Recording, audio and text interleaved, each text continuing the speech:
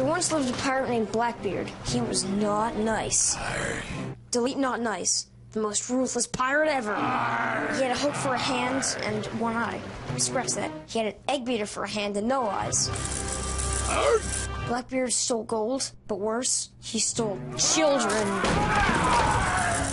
Delete, delete! Click.